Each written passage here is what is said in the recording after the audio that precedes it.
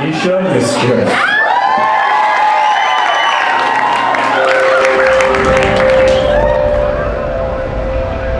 We are part of this universe. We are in this universe. The universe is in us.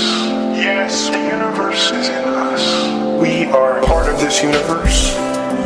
We are in this universe. The universe itself exists within us. We are part of this universe. We are in this universe. The universe is in us. Yes, the universe is in us. Every atom in your body came from a star that exploded. You are all stardust. You are all stardust. From a star that exploded. Look up at the night sky. We are part of it. The universe itself exists within us. Stardust in the highest exalted way, called by the universe, reaching out to the universe. We are stardust in the highest exalted way, reaching out to the universe with these methods and tools of science.